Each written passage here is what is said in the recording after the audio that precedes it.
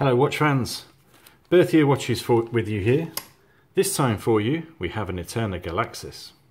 We have the instructions, we have the warranty book which has the date of purchase.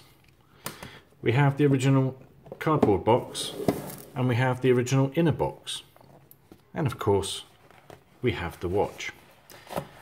Now the Galaxis is quite an unusual usual watch because of these blue sapphire glass uh, inserts. As you see, as it catches the light, they either look black or this stunning cobalt blue. Something that the still photos really fail to show. Now this has a high quality uh, quartz movement inside with quick set date. It's on a same stainless steel bracelet which it has the extension to allow it to put on your wrist. We have the spare links as you see. All solid steel. Very good order. Pick it up, wear it, enjoy it.